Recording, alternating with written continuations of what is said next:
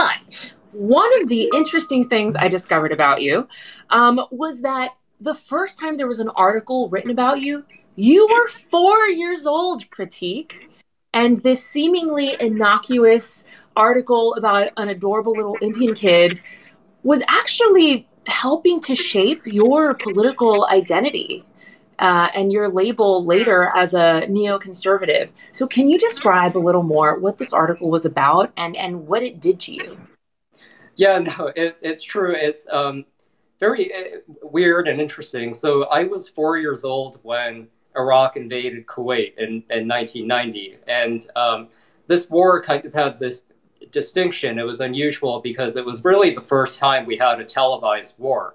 Uh, this was when CNN was really coming to the fore as a cable news network, and a lot of the things we take for granted now about war coverage were really pioneered during that time with reporters being embedded with U.S. forces, and we all got to watch it on TV.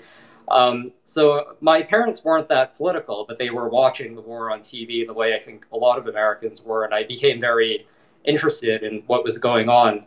Um, so an uncle of mine, who's now uh, also working in the foreign policy uh, world, wrote a children's book in which he basically analogized the war to kids on a playground where Iraq was the bully stealing toys from Kuwait, and then in this narrative, America was kind of the bigger person who stepped in and rectified that.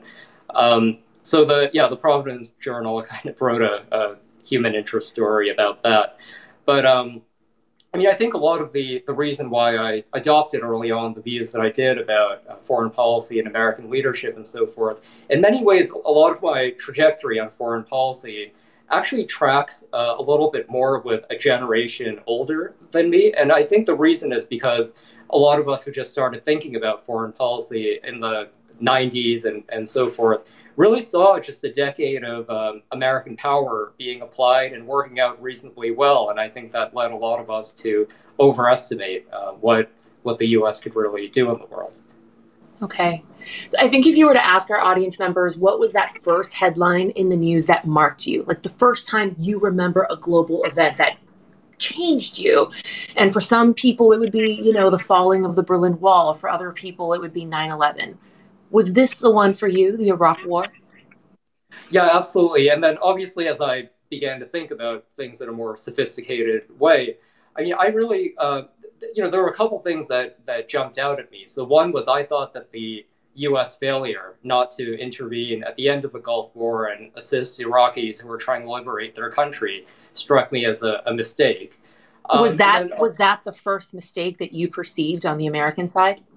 I think so. And then I and then that really was underscored to me. I remember, and again, I wasn't that old, but when the uh, when the wars in the Balkans really began to uh, come to the fore, and I remember just really being struck by these um, uh, these images. I mean, I still remember them of the Bosnian and and uh, Kosovars, uh, these civilians just fleeing on trains and, and running away from a, a genocide. And I, I thought it was I mean, quite horrifying. These people who look like us are in the same sort of basic civilization as us are dealing with genocides and things that I thought were of a, a previous era.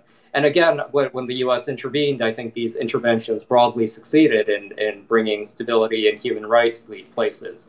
Um, so a lot of that really shaped my worldview and uh, uh, laid the groundwork for things that I would do later.